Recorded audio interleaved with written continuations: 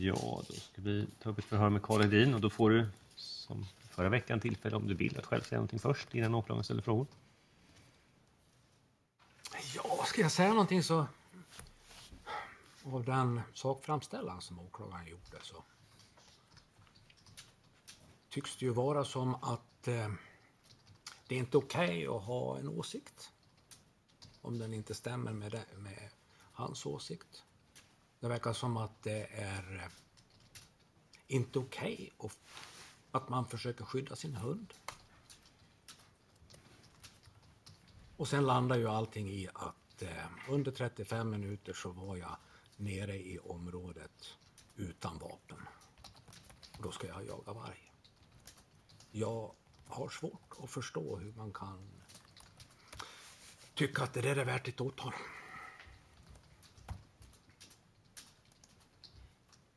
Mm. Mm. Tack. Åklagaren har frågor? Ja, tack. Vad betyder jakten på klövvilt för dig? Mitt största fritidsintresse, huvudsak älg. Och eh, du bedriver det som löshundsjakt? Ja. Mm. Och vad betyder då vargförekomst på markerna för, för ditt fritidsintresse? Att jag riskerar att få min hund dödad.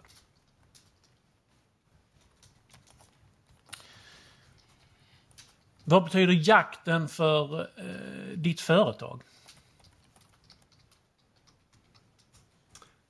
Ja, relativt lite. Ekonomiskt nästan ingenting kan säga. Mm. I förhållande.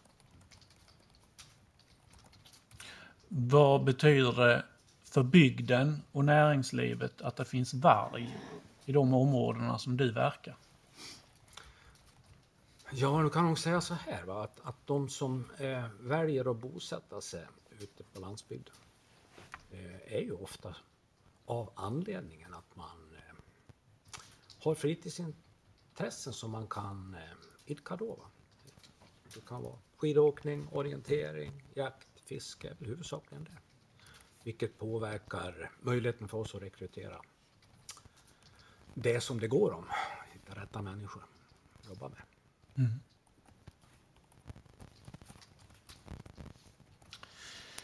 Ja, vi går väl direkt på den 26 oktober. Kan du berätta om dina minnesbilder från förmiddagen den 26 oktober? Ja, det kan jag för att jag har haft anledning att eh, memorera det om jag säger så. Eh, det är precis som Robert säger. Va? Jag sitter och jobbar i eh, i Snytsbo. Och så kommer det samtal om den här älgkalven. Eh, och det var väl ungefär åtta, klockan åtta. Så det var väl inget mer med det. Vi bestämde att den där tar vi rätt på och tittar på hur han ser ut. Och det gjorde Robert och sen eh, ringer han ungefär klockan tio in till mig och säger att någon har hört, jag visste faktiskt inte vem det var, någon har har hört vargar yra. Då gick jag ut till honom, för jag förstod att han var i slakteriet, det var ju alldeles intill. Och så vi tittade på den där älgkalven och sen bestämde vi oss för att ja, det är nog bäst att checka upp det. Va? Det är en ganska stor apparat som, som man har igång när man ska jaga på det viset vi gör. En stor organisation kan man säga. Så att ändra om den är knöligt och det blir väl inte direkt bra. För det bästa var ju att det där var fel. Så därför bad jag Robert att han skulle åka ner och kolla då, om hur det där stämde. Jag tänkte inte åka ner då. Utan sen eh, jobbade jag färdigt och kom på att jag hinner nog ner jag också. Och det var ju för att, att kolla. Va? Alltså, eh, vargar och hundar är precis samma djur. Va? Samma djur i, i grund och botten. Så min förhoppning det var att det kanske skulle gå någon där med hund eller också att det ylar i, i den gård som finns där. Alldeles i närheten. Sa du att det? Att det är någon hund som står och ylar i den gård som finns i närheten där.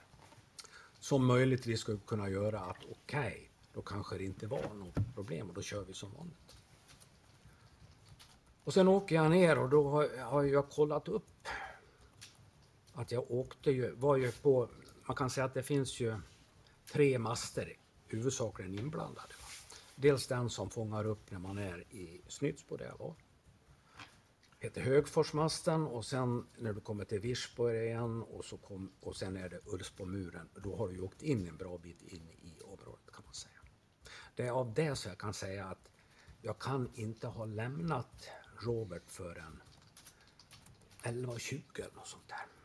Jag vet att Stenberg, han ringde innan jag träffade Robert. Innan jag åker ifrån Snytsbo, då ringer jag till Robert. Bara för att berätta för honom att jag kommer ner också och var vi skulle träffas någonstans. Det är så att säga det samtalet. Och sen träffas vi där nere och inte som, som åklagaren sa, vi lämnade inga bilar där utan vi åkte ju åt varsitt håll därifrån. Och jag åkte kanske, kan det vara, 300-400 meter. Sen parkerade jag bilen. Och så gick jag en bit efter den här vägen som är. Och det är ju då som min syster ringer och jag trycker bort det. Va? Och så kommer det här smset. Och så jag hör ingenting och det var ju ganska, ja, ska vi säga chansartat, även fast det var jättefint hörbart väder. Och, eh, och sen vänder jag och så går jag tillbaks och strax innan jag är framme i bilen då ringer eh, Stenberg. Och då var jag så nära så då svarade jag helt enkelt. Och sen åker jag därifrån, åker till Fagersta.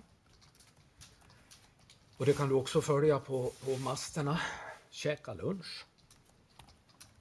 Jag har angett precis vad det var för rätter och vad, vilka som var där.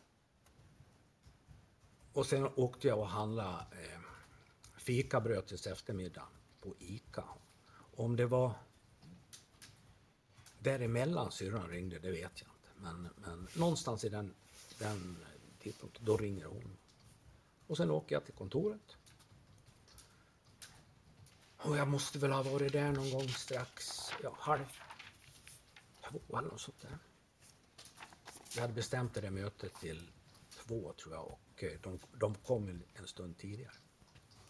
Sen åker jag hem. Klockan fyra ungefär, då är jag färdig.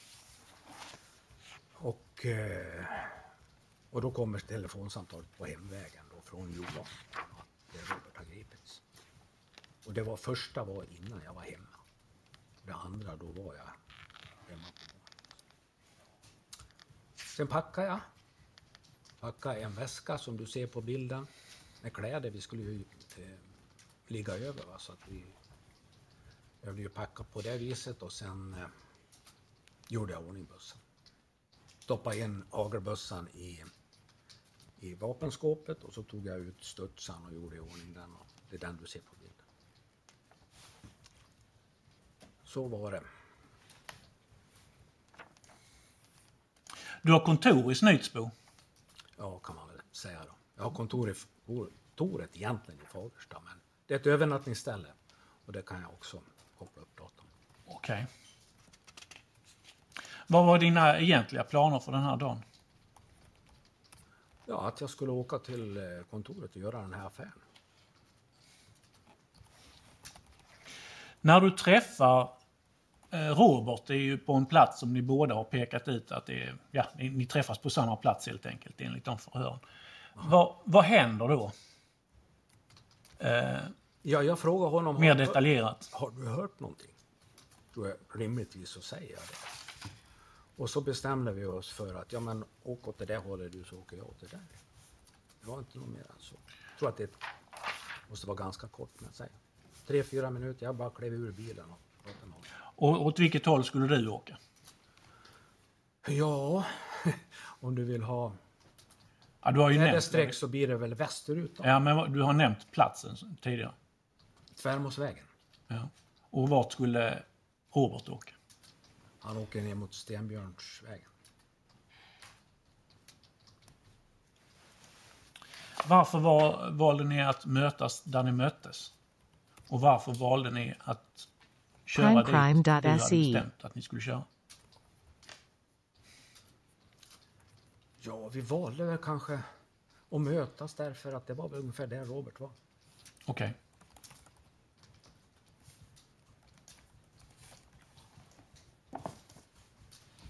Det var inte för att ni trodde att det måhända var där som en eventuell varg befann sig? Ja, det var väl därför Robert var där. Om det var för att det, det befann sig en varg, det var väl ingen som kunde tro det. Va? Men, men däremot om det var i området. Man skulle höra dem yla, för det var ju det han hade påstått.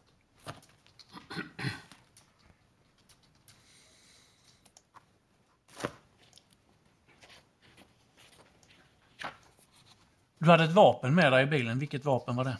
En hagelbössa. Av märket? Jag har många hagelbössor, men den där är en eh, side by side. Sauerson tror jag. Varför hade du det här med dig? Därför att jag hade den i Snytsbo. För att eh, under veckan så har vi skjutit med och, vi, och även planerade för att skjuta ledöver om det hade blivit tid över med det här gänget. Men jag förstod det, så blev det inte utan istället så hade jag kvar en eh, salongsgevär som man kan skjuta på den här banan som du pratade om. Ifall vi skulle få tid över.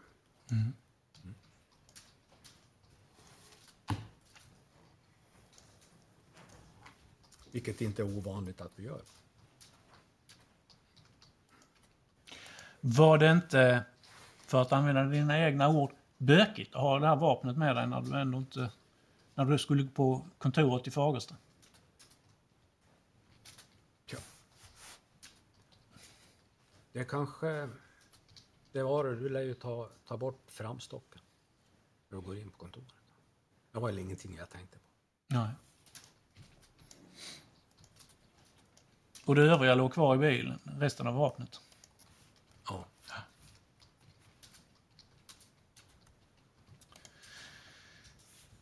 Jaha.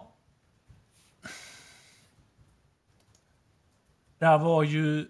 Jag visade ett beslagsprotokoll på ett hagelgevär där det fanns två hagelpatroner i eh, magasinet. Det var nog inte det. Nej, det var inte det, utan det här var en berätta som hade två hagelpatroner. Med hur många patroner kan man ladda det?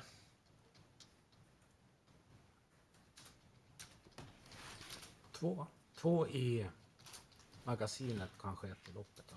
Ja.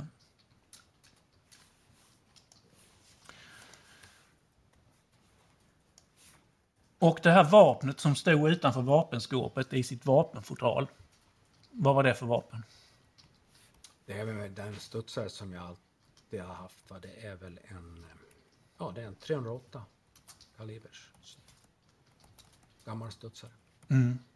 Sauer 80 va? Ja. Eh, varför fanns det patroner i magasinet på den?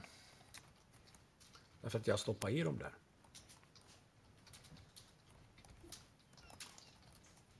Brukar du göra det när du förbereder dig för jakten? Att stoppa i patroner? Ja, jag brukar göra det. Eh, Alltså du har ju... Du brukar ha det då inne i vapenskåpet och så stoppar man i patroner och magasinet. Då har man det med. Hur många patroner rymmer det magasinet? Då? Fyra.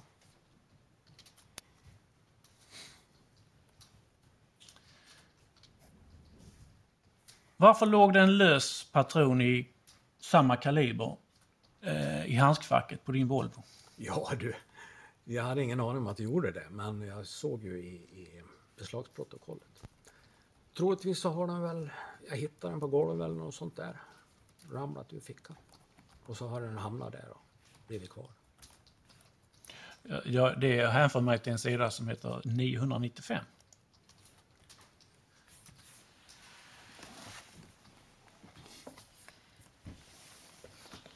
På sidan 993 finns det en bild på eh, den här lådan du har under hundburarna.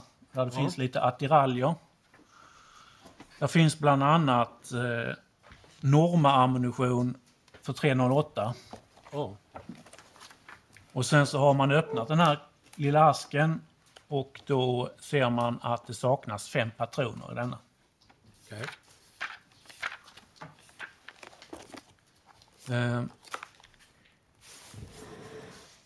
är det möjligtvis så att eh, de fyra som sitter i vapnet kommer från den här asken? Ja, det kan jag inte säga. Och att den femte ligger i handskfacket? Nej, Nej. det tror jag inte. Jag har väl flera askar.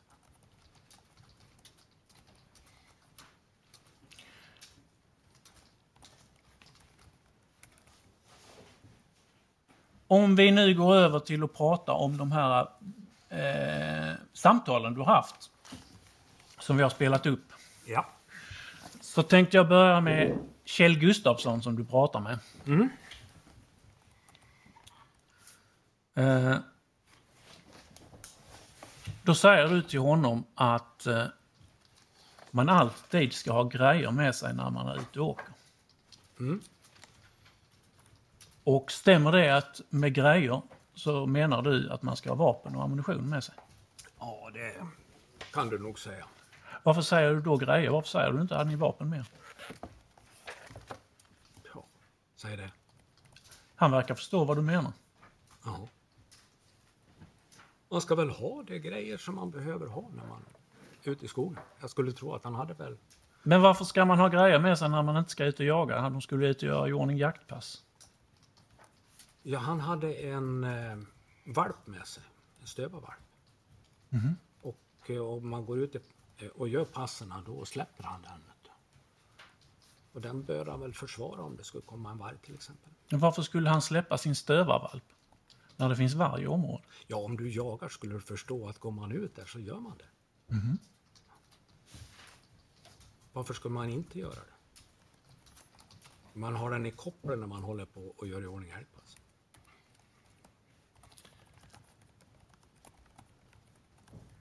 Är det en tillfällighet att du frågar om han hade grejer med sig när du precis har fått reda på att eh, man har observerat varg på kamera samtidigt som de var där? Jag vet inte om det är tillfällighet, va? men, men eh, det är ganska rimligt att man gör det. Och jag vet att en, en del jägare är helt enkelt eh, så lata så de gör inte det. De tycker det är för bökigt. Och jag tycker det är fel. Det är så dags att åka hem då. Men du visste ju inte att eh, Kjell Gustafsson hade sin stövarvalp med sig vid det här samtalet. Visste jag inte. Nej, Det tror jag. det framgår inte. Och själva det samtalet? eller? Nej. Men då vet jag väl av någon annan skäl då. Det brukar han nämligen också alltid ha. Senare i samtalet så frågar ju Kjell Gustafsson dig om du tror att vargarna var märkta. Och du svarade du att du trodde att de inte var det. Men att det i så fall inte skulle vara något problem. Kan du förklara vad du menar med det? Du får väl förklara vad det är för problem med att vargar inte är märkta. Kan du förklara vad det, vad det skulle kunna vara för problem om ett varg är märkt? Ja, men det är ju inget problem. I vilket sammanhang skulle det kunna vara ett problem? Varför tror du han frågade? Ja, det får du väl fråga han om. Du verkar vara med på noterna i varje fall. Du- Jaha.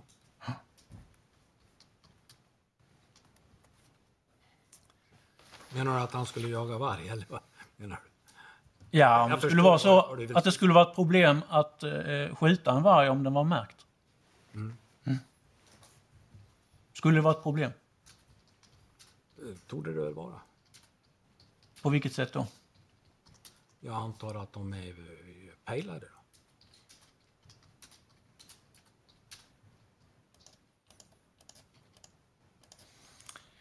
Men enligt dig så var det inget problem i det här fallet? Att de skulle vara märkta?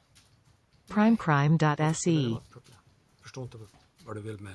Jag förstår ungefär vad frågan är, men det är väl inget problem. Ja, om man då hade grejer med sig och det skulle finnas tillfälle att skjuta så skulle det vara ett problem då?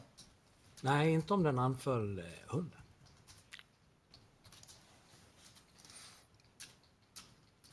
Nu går vi över till samtalet den 13 september med Björk Sevelin.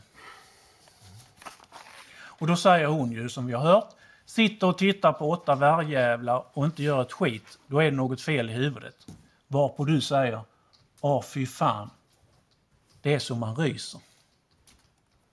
Vad menade du med det? Det är ju, för jag uppfattar ju som att... Eh, nu ska du se, det var väl...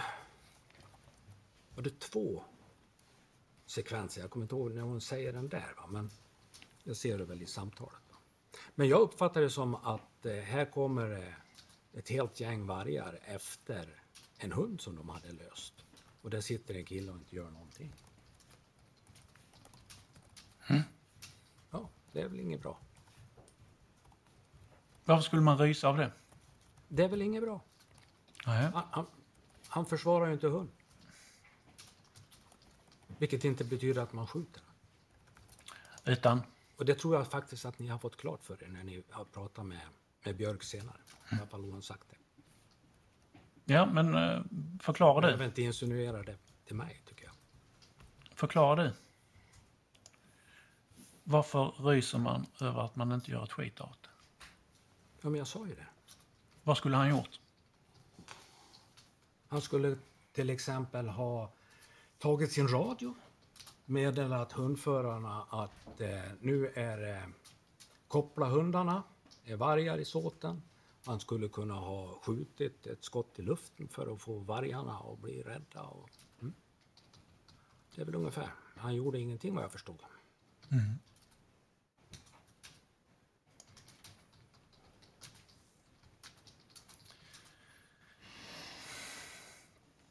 Tidigare i förhör med polisen så har du sagt ditt förhör den 22 i 11, sidan 45. Eh, det är övre delen. Vad menar du med att man ryser? Fråga, ställer man frågan. Och då säger du, jag vet inte varför man ryser. Att det är åtta vargar, det kan man ju rysa åt. Jag kan inte svara exakt på vad jag menade i ett samtal från i september. Det är ingen hemlighet att jag inte gillar vargar. Och vad var frågan? att du har en annan förklaring då. Då vet du inte, vad, har du ingen förklaring till varför man ryser. Mer än att det kanske är åtta vargar man ryser åt. So what? Men nu har du en annan förklaring. Jaså? Till att, man, till att man ryser av att den här jägaren inte gör någonting åt det. Skrämmer. Okej.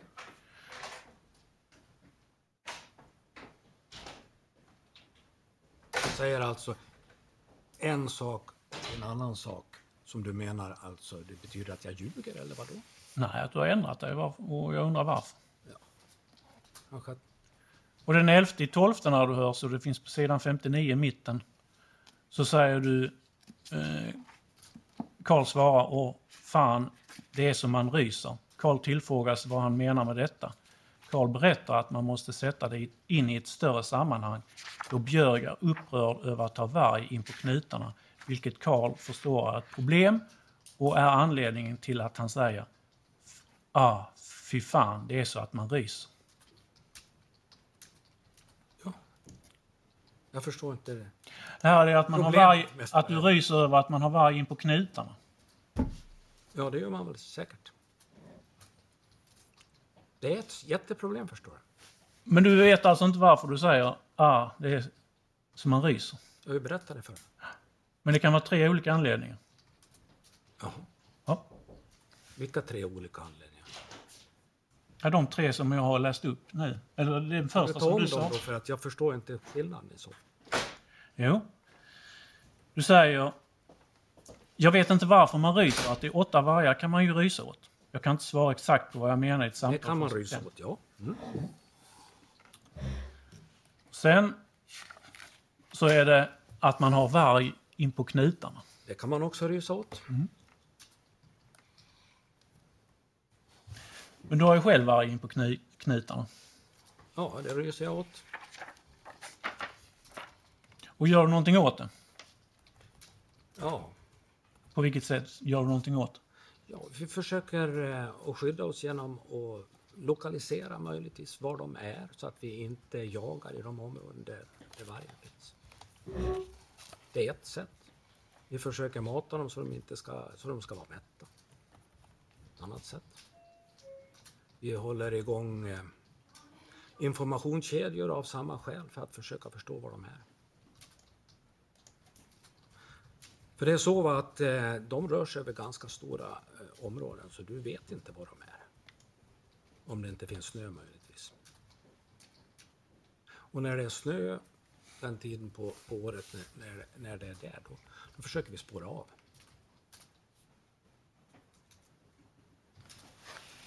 Därför vi gillar inte att våra hundar blir uppätna. Nej. Våra familjemedlemmar, men det tycks inte riktigt gå hem i vissa kretsar. Nej, jag har den största förståelsen för att man inte vill att ens familjemedlem ska bli uppekäkad av varg. Vad bra. Eh, I ditt samtal med Ulf Widén den 5 oktober så säger du med tanke på den förestående jakten som eh, Widén också skulle delta i. Säger du följande. Nej, jag bara tänkte det att när du snackar med gubbarna om vi har hundarna lösa och så kommer det en varg, då får de fan, då får de fan ta mod till sig och skjuta den. Kan du exakt förklara vad du menar med det? Ja, att kommer det en varg som hotar min hund, då får de skjuta enligt paragraf 28. Och det hade ju, och sen om du följer vidare då, så är det ju så att jag har ju jagat med de där premiärdagen under ett antal år. Va? Och eh, jag uppfattar att eh, en hel del av dem där är inte av kalibern att de eh, gör någonting åt det. Men det verkar ju inte som du pratar om de här grejerna som, som måste vara uppfyllda för att paragraf 28 skulle kunna användas. Till Ulf Widén? Ja. Ja, men han vet ju att det är det. Jag vill inte instruera honom. Men Ulf Widén han svarar ju på det som jag nyss har läst upp, som du har sagt. Absolut, ja det tycker jag. Det, och sen har vi, vi har ju den här, den här lagen också, paragraf 28. Så att det, och sen säger du, ja ja, visst ja, men det är ju den va. Så att det, det fixar man ju, men man får väl se vad man ska göra när det väl är gjort va. Men det är ju bra om de fått instruktionerna från början. Ja. Det är bra. Ja. Och då, när man läser det och hör vad du säger så får man ju uppfattningen att det är inte riktigt de situationerna du tänker på. Utan du tänker på en situation där en jägare som deltar i den här jakten får syn på en, en eh, varg. Och att de då ska fan ta mod till sig och skjuta den. Det är din tolkning och den är fel. Ja. Helt enkelt fel. Varför avfärdar du då Ulf Widéns hänvisning till paragraf 28? Jag avfärdar väl inte det. Det menar jag att du gör. Det menar jag att jag inte gjorde.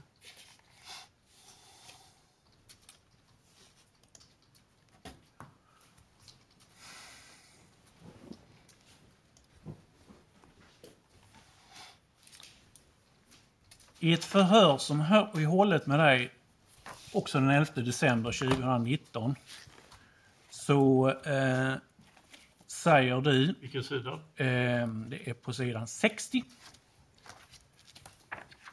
eh, och det är ett andra stycket nerifrån.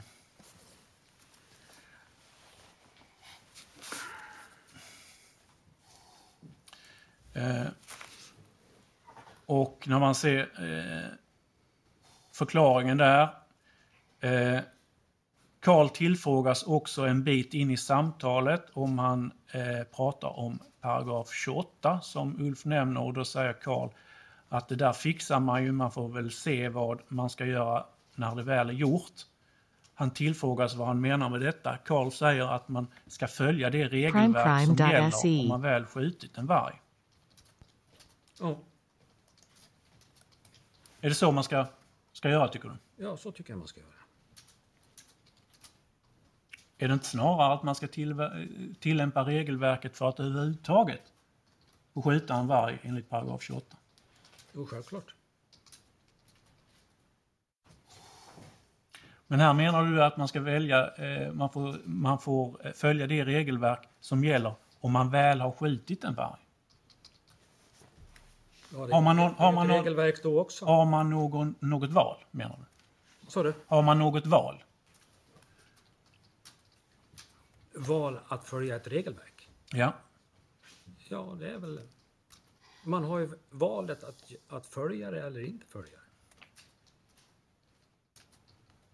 Du har ju varit jaktledare på många jakter. Vilka instruktioner ger du angående, ja, till exempel vargmöten? Ja, vi brukar ju gå igenom det på, på morgon... Eh, ja, genomgången om man säger så. Jag brukar utse en... en eh, ja, någon som ska ansvara för just den situationen. Det är ju då någon som vet hur man ska hantera det här regelverket som gäller. Av det skälet. Rovdjursansvaret tror jag vi, vi kallar dem. ja. Mm. Och vad är denna djur, rovdjursansvarigas arbetsuppgift under jakten? Att om det då blir ett, ett paragraf 28 skjutning, då ska han så att säga hantera den situationen tillsammans med den personen. Så att man dokumenterar och gör klart. Ringer till Länsstyrelsen och rapporterar. Det är ju det regelverket som gäller. Det är ju en sak du gör. Du utser en rovdjursansvarig. Men får de andra någon information? Någon som deltar i jakten?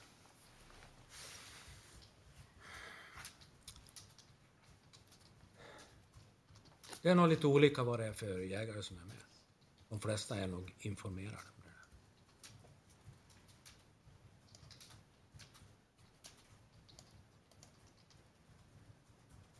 Men vilken inst i, i instruktioner hade du gett inför eh, jakten den 27-28? Ja, det har jag nog sagt skulle jag tro. Det är ju liksom hypotetiskt men eftersom de aldrig blev av. va. Men eh, jag har väl troligtvis att det hade blivit en rovdjursansvarig hans utsedd, det är jag ganska övertygad om. Och eh, kanske säga det då, sen gäller ju paragraf 28.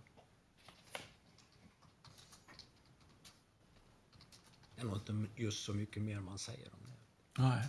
Ingenting om att de eh, får ta mod till sig och skjuta? Nej, Det är ju bara om det är den typen av jägare. Eller oerfarna jägare. Men eh, Enligt ett samtal med Marianne Nygren skulle det vara blandat folk den här dagen. Vad menas med det?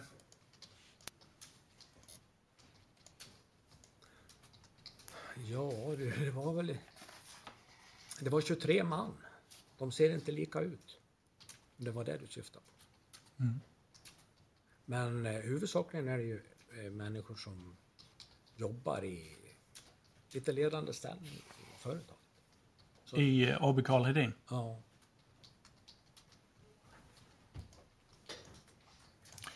Det var 23 gäster. Hur många ordinarie så, så att säga skulle vara med? Hur, må- hur många skulle ni vara Det är i sammanlagt? princip bara ordinarie. Ja, men är det det? Ja, men. Det är jaktlagsmedlemmar. ja, vi jagar det där gänget en gång om året och har gjort det i många år.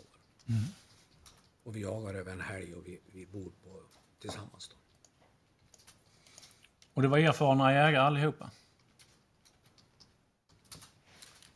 Ja, i stort sett tror jag man kan säga det. Det är väl lite olika grad av erfarenhet naturligtvis. Är det det som är blandningen? Erfarenheten? Att man är blandat folk? Ja.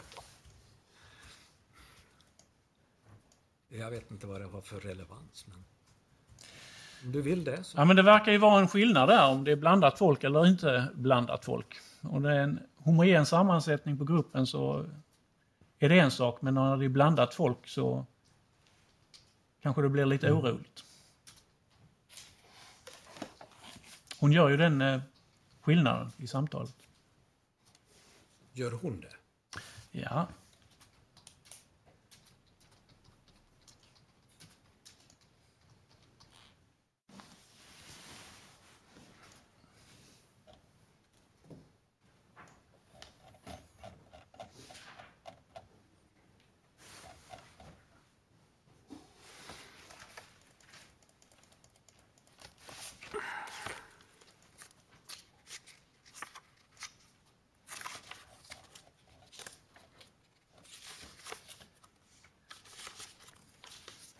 Du säger ju här i samtalet, nu har det varit tre vargar där, varav en riktigt stor. Så att imorgon kan de mycket väl dyka upp eller ta, ta någon hund eller vad fan som helst. Och så säger hon, och du menar imorgon, ja nu ska jag inte säga någonting men du förstår vad jag funderar över i alla fall. Att det här nu när du har så, nu, när, nu har du ju så blandat folk där så det är väl bara att hoppas att de inte är där överhuvudtaget. Och med dem är det ju vargen. Jag menar. Det är ju hon som säger bland. Ja. kan väl inte jag rå för? Nej, men här är ju en... Funderar du inte över vad hon menar med att det är blandat folk? Om att det skulle bli mer oroligt för det? Nej, jag tror inte det. Nej. Men sen säger du, ja, ja, jo, men det, är, det kan nog ordna sig i varje fall. Vad menar du med det? Ja, det var väl eh, hur vi skulle jaga. Väl, om det var varg där. Och hur skulle du lägga upp eh, jakten nu när du visste att det var varg där? Frågar du mig nu? Ja. Hur skulle du ha lagt Ja, upp? jag hade ju... Jag hade nog tänkt att jag skulle minska områdena och lägga upp det då på kvällen. Och sen gå med färre hundar och möjligtvis om någon skulle banda. Vad vinner Vi man på skulle det? definitivt göra, ha gjort en eh, åka runt på vägarna på morgonen. Kolla om det var färsk vargskit.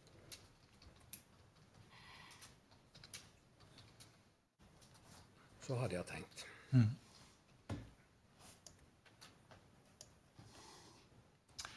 Vad vinner man på att eh, minska området och ha färre hundar? Ja, alltså det blir färre hundar därför att det blir ett mindre område. Och sen eh, om du gör ett mindre område och det är varg i det området så blir det ju så att säga närheten till folk blir mycket större. Eh, och det är nog så att blir det eh, så att vargarna märker att det är eh, folk lite överallt. Då tänker de nog mera på att fly än att äta hund. Stör det älgjakten också? Vilket då? Ja, att det är mer folk på en mindre yta. Ja,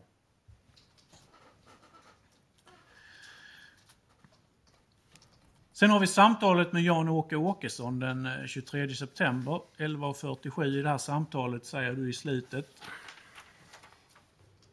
Eh, så det är nog fan bara att eh, jag tror att det är bäst att sitta på om man eh, kan sitta ja, på förmiddagen alltså. Vad menade du med det? att det är bättre att sitta på förmiddagen än på kvällen. För att göra vad? Vad man då vill göra. Det kan väl vara olika. För en som inte deltog i samtalet så ser det ut som att eh, du anser att man bör sitta på morgonen. Man bör sitta på pass för att kunna skjuta dem. Är jag helt ute och reser då? Ja, det tror jag det. Ja. Vad menar du alldeles, eh, eller vad menar du annars med vad du säger sen? Det är åt helvete all- alldeles. Vi må, vi må göra någonting åt det där. Jag har hållit på med i tio år. Om tio år? Jag har hållit på med det i tio år Ja. och försöka göra någonting åt det. Mm. Men vad skulle ni göra åt det nu? Det var väl inte det det handlade om. Nej. Men vad skulle ni göra åt det? Ja, det som jag har hållit på med i tio år. Vi ska försöka få en vettig förvaltning på dem. Vilket innebär att det ska vara färre. Och, och mera utspridda. I enlighet med riksdagsbeslut. I samtalet med Robert Timecrime.se. Pettersson den 25 oktober så eh, frågar du också eh, vilka tider varje hade synts på kameran. Varför var det intressant? Lära sig hur de rör sig och hur de funkar.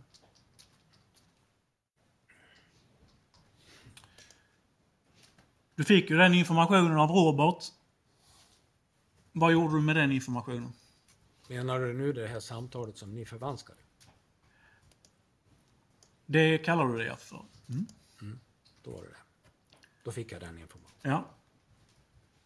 Vad gjorde du med den informationen när du fick att de, vilka tider de hade varit där? Ja, vilka tider, men eh, det var väl att de var där. Ja, men du frågar ju specifikt vilka tider de där på. Ja, Och du fick reda på det. ja. Och vad tänkte du då? ja det var väl bra. Ja. Det här var ju i närheten av där ni skulle jaga två dagar senare. Var det bra? Ja, att de var på åten åt. De blir nämligen mätta då.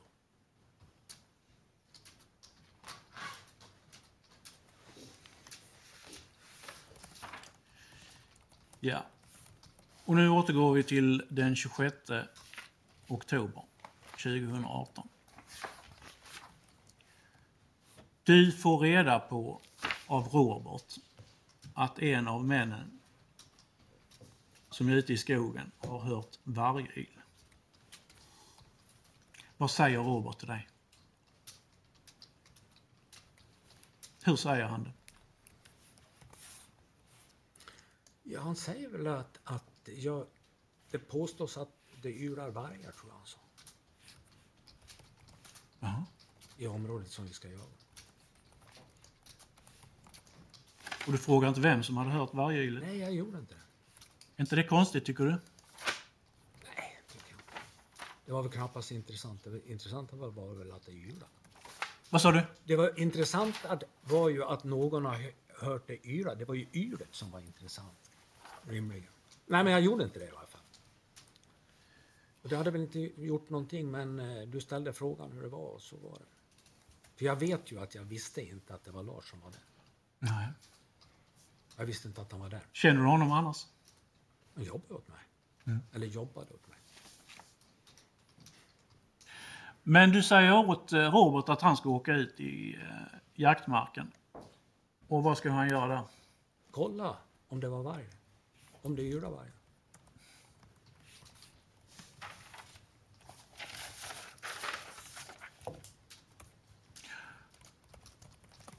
Du litar inte på att den som eh, hörde varje hade hört rätt alltså? Nej, det kan du inte göra. Vet du. Nej. Ja, du ställer ju inte ens frågan vem var det som hörde ylet? Jag ställde inte frågan. Nej, Nej. nej hur så? Är inte det konstigt? Nej. Nej.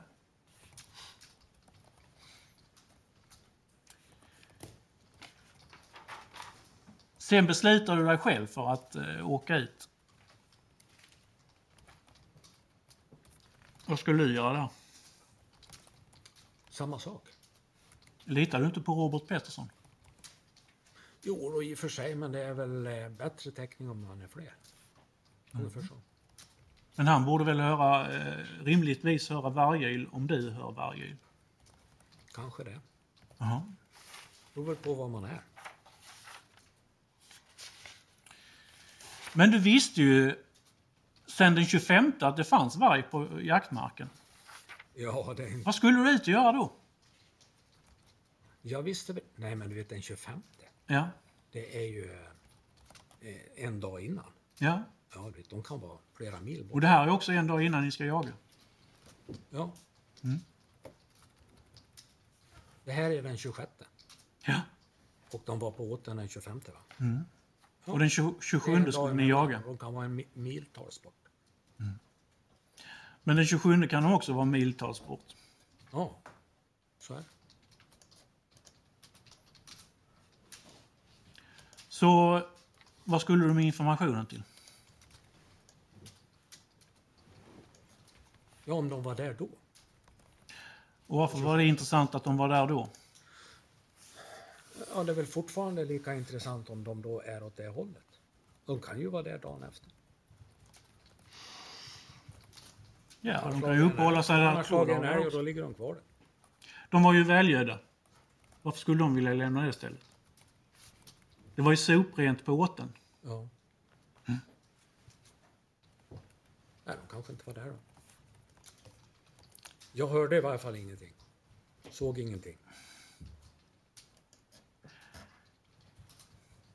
Du hade ju en del samtal med, med Robert på WhatsApp. Vad, vad fick du för information av, av eh, Robert då? Den 26 menar du? Ja. Ja, det var vi ju eh, att det ylade varg ner på området. Det var väl det. Ja, det första var ju, ja, men jag berättade, det var ju, han ringde ju om den här kalven och sen var det att det ylade varg och sen pratas vi nog, sen ringde han ju nog, måste jag ringt honom va, och säga att jag kommer ner jag med. Ja, det visste ju inte han. Det var inte tänkt så. Då upptäckte jag att jag hinner nog ner jag också. Och sen när jag åkte därifrån, det är väl de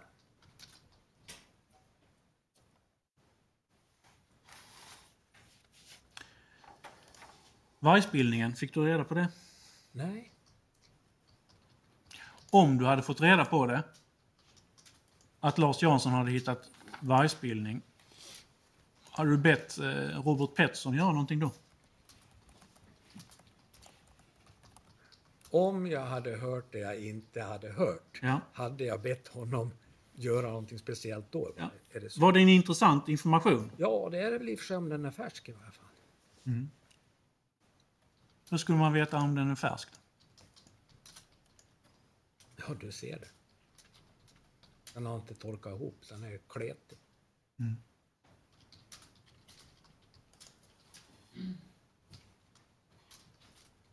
Men han sa alltså ingenting om vargspillning.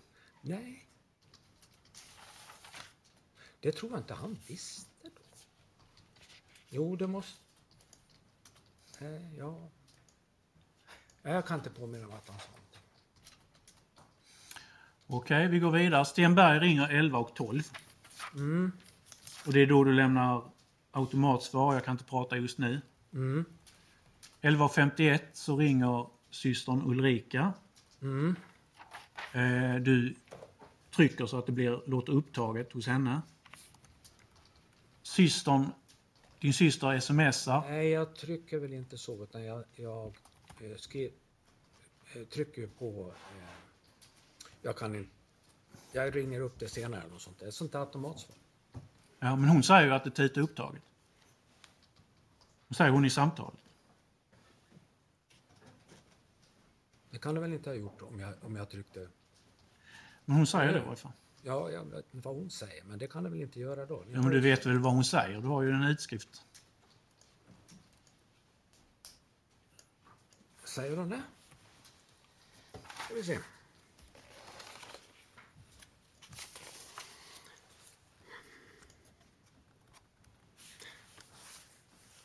Eh, så säger hon inte så. Utan hon säger så här. Sist vi pratades, eh, sen vi pratades vid sist så tänkte jag när du tryckte på upptaget. Jag tryckte inte på något upptag. Ja, men hon säger ju det. relevans överhuvudtaget vad jag trycker på för knapp? Nej, men, Jag förstår inte frågan. nej, men hon säger ju det. Ja, men du kan inte trycka på upptaget, vad jag vet. Eller har du någon speciell telefon, inte min? Ja, man trycker att man inte svarar så blir det väl upptaget. Nej, då kommer det där meddelandet. Du meddelar och så vidare. Ja. Ja, visst. Eh, sen så smsar hon dig. Eh, håller du på att skjuta en älg och då svarar du med såklart och tummen upp. Varför gör du det? Jag ljög. Varför, varför ljög du? Ja. Som du kanske har svårt att förstå, men, men eh, Ja. hela det här samtalet, jo men jag har ju förstått det. Hela det här samtalet eh, är ett skämtsamt samtal.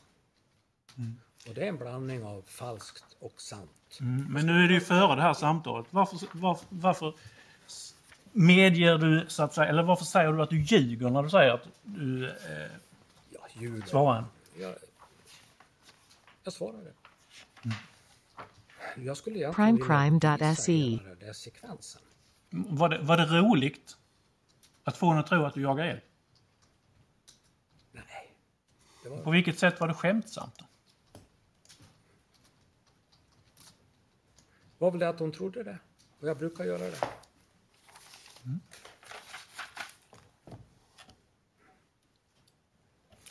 det. Jag är ju oerhört bekymrad. Att jag skulle ha svarat att jag jagar älg. Klockan 11.56 så ringer Stenberg upp dig. Mm. Eh, och eh, du är då ute i skogen. Du viskar när du pratar med honom. Ja, jag är på väg till bilen precis. Du viskar att du står på pass. Mm. Och det, jag tycker det framgår av samtalet att han ringer lite opassande. Att du har annat för dig. Mm. Och du säger nu att du gick mot bilen. Mm. Så var det. När står man i så fall på pass? När man står still. Mm, men du gick. Ja, jag stannade väl när han ringde. Jaha. När man stannar, när, stannar man när Stenberg ringer, då står man på pass alltså? Ja, herregud, jag sa väl det där för att bli av med honom. Jag var inte nå eh, i ett läge jag ville prata med honom. Men eftersom jag var så nära från bilen så tyckte jag att då kan jag väl, eftersom han hade ringt förut. Varför viskade du? Därför att jag var inte i bilen. Jag var ju för att eventuellt att jag skulle höra någonting om det yrade.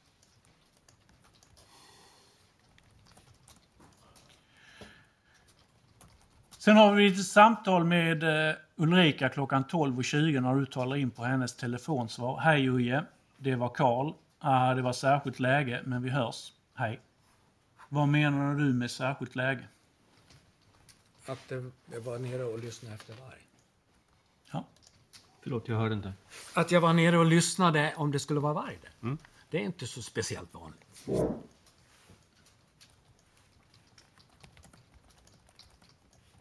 Varför säger du inte det då? Jag säger ju att det var ett särskilt läge. Vad menar du att jag skulle säga? Ah, jag kunde inte prata tidigare, jag, jag lyssnade efter varg. Ja, så kunde jag ha sagt. Samtalet senare, 13.06.50 mellan dig och din syster, det är ju det berömda gråbenssamtalet. Ehm, som vi sa tidigare så är det ett samtal som har föregåtts av försök från hennes sida att få tag på dig men du har ju då tryckt bort henne på olika sätt. Ehm, hon tror då uppenbarligen att du är ute och jagar älg eftersom du har sagt så. Skämtsamt. Hon undrar eh, då i vilken ordning sköt du? Och då svarar du ja, Vilken i ordningen? ja vilken i ordningen sköt du? Just det. Och då svarar du jag har, jag har inte skjutit så många sådana där. Nej. Det var en speciell grej. Ja. Vad menar du med det? Att jag inte har skjutit så många vargar. Hur många vargar har du skjutit då? En. Och när var det? I Baltikum, länge sedan. Sen svarar du jakande på hennes fråga om du satt med fingret på avtrycken. Vad menar du med det? Jag ville göra det lite spännande för henne. Det var Jaså. inte korrekt.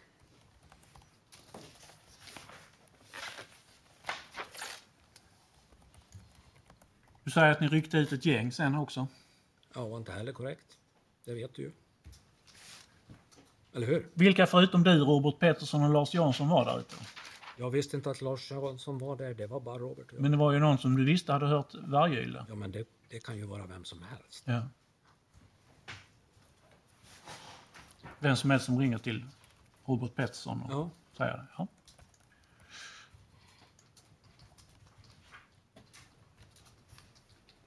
Jag träffade aldrig någon Lars Jansson. Nej, Det vet du också. du träffade inte honom den, den dagen? Nej.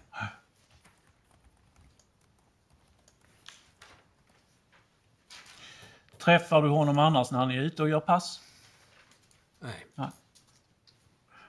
Är han en sån eh, person som alltid bör ha grejer med sig? Ja. Är det någonting du tillhåller dina anställda att när ni är ute i skogen så ska ni ha grejer med? Inte mina anställda, men i största allmänhet tycker jag man ska ha det. Mm.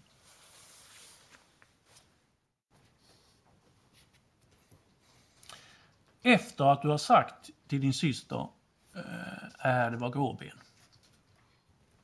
och hon inte riktigt uppfattade vad du sa så ändrade du dig till att säga det var eh, sådana där som vi brukar få på kameran. Mm.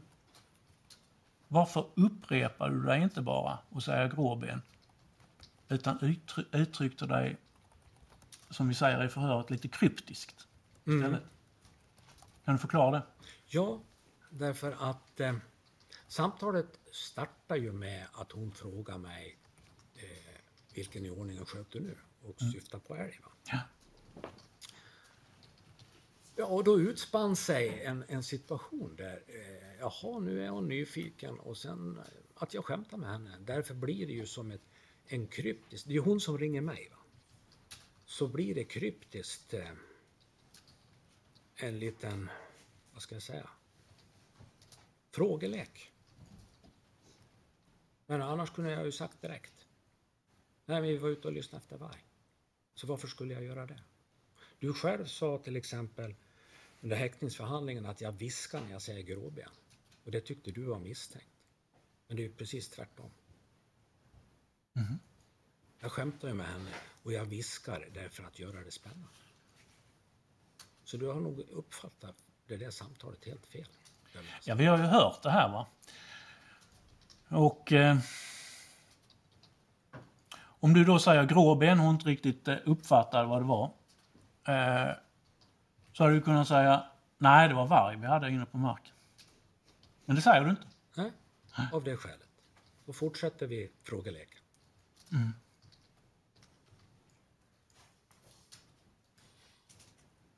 Tyckte du kanske att du sa lite för mycket med tanke på att du kunde vara avlyssnad? Jag hade väl ingen tanke på att jag var avlyssnad. Fullständigt otänkbart Jaha. Att ni skulle göra någonting sånt integritetskränkande som ni faktiskt gjorde på ett falskt och oriktigt sätt. Jag trodde faktiskt att ni skulle följa lagen. Du har sagt att det här samtalet, i varje fall från din sida, var ett skämt med din syster. Hur hörs det att du skämtar med henne? Ja, därför att det blir en frågesport. Vi skrattar väl har jag för mig. Och hon fattar nog. Du får väl fråga henne imorgon. Hon fattar nog att eh, jag skämtar med henne. Jaså? Hon tycker det skulle bli intressant att sen när ni personligen träffas få höra mer om det här. Ja, Och du lät nöjd då? Ja, det var väl... Det slutade väl med att hon säger såna där vi får på kameran. Jaha, kungen. Det har aldrig slagit dig att kungen inte var där? Ja, jag vet inte vad hon menar. Det vet tydligen inte du heller. Nej, du kan väl fråga henne imorgon. Men du skrattade Nej, åt men det? jag, tror, jag tror att hon menade att, eller hon fattade då att det var eh, att det var eh, att jag höll på att skämta med henne.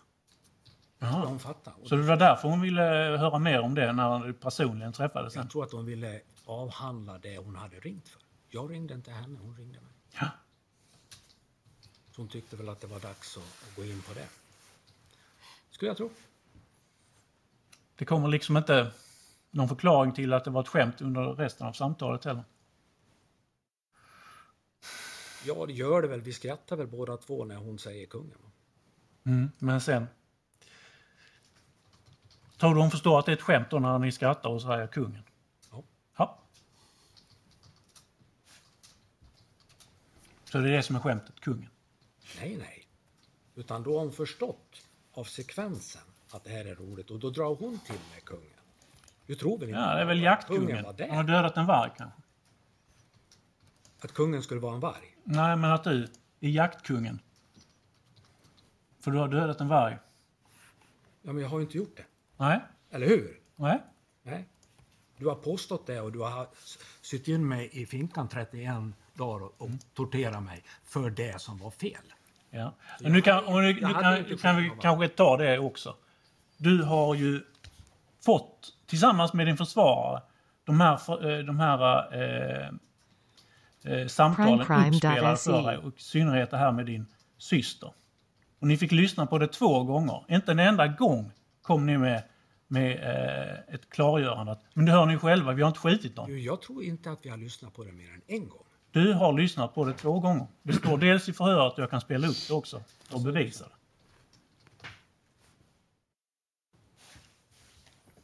Sven, vad säger du? Har vi lyssnat på det två gånger när vi satt i förhöret? Vi kan ta det sen. Eh, Ja.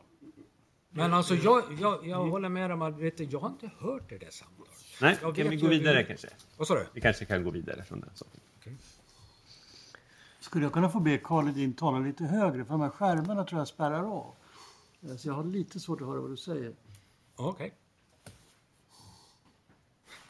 Hörs det när jag pratar in där då, tror du? Det hörs säkert mycket bättre. Ja, men då ska jag försöka.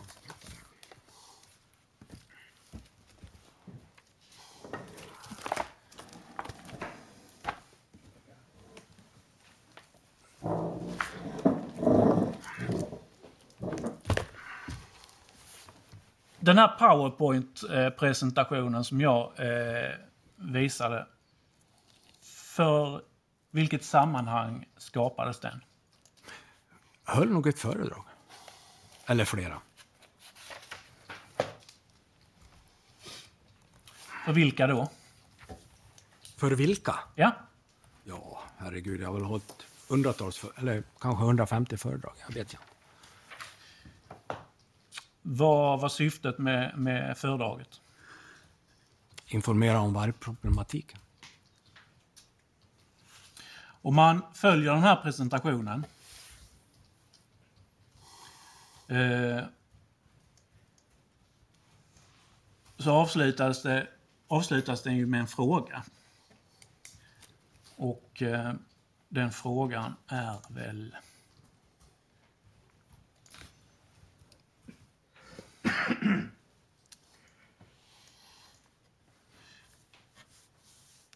Frågan om olika handlingsalternativ. Vad tycker ni som lyssnat är ett rimligt handlingsalternativ? Det är en fråga att ta med sig hem.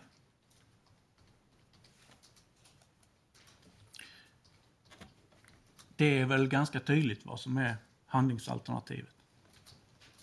För mig att det var sex, sju stycken, va? Jag tycker det är ganska tydligt att det är den lokala förvaltningens väg man ska gå. Tycker du det? Skulle du göra det? Nej, jag skulle inte göra det. Nej, då kanske det är så då. Men jag är kanske inte din målgrupp.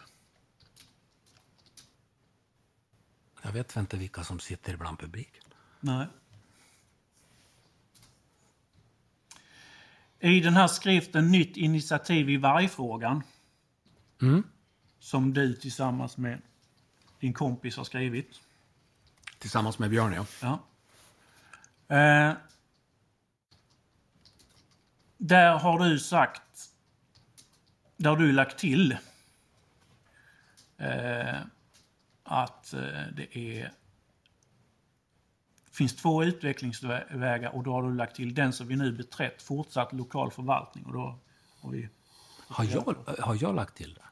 ja, Hur vet du det? det står ju där att du har lagt till. Jaha. Men det där vet du, det tror jag bara var någon slags sammanfattning av Björns och min eh, ja, analys och försöka begripa läget. Jag tror aldrig jag har, det där har varit ute någonting. Nej, Inte som någon artikel, utan det var snarare våran. interna grej. Ja, det tror jag. Den avslutas som sagt ovan, det finns två vägar att gå.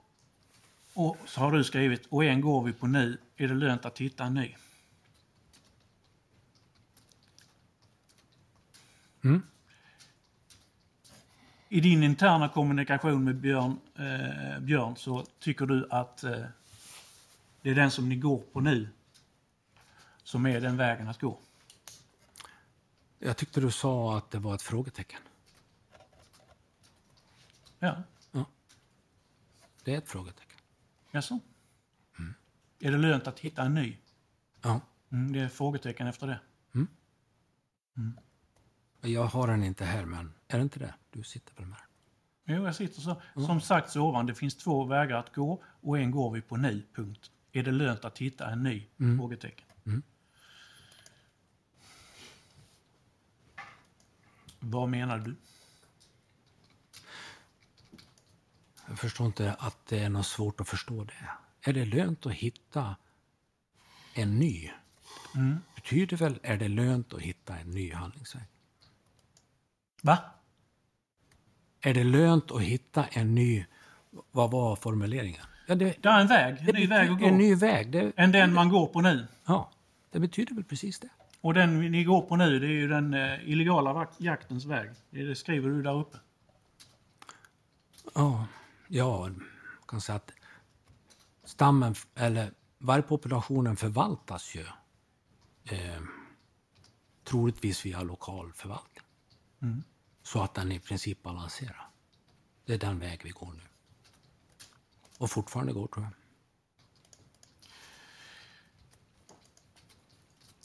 Har inte du förstått det? Varför, är, varför säger man lokal förvaltning istället för illegal jakt? Låter bättre. Låter hemskt Anna. Ja, tycker jag.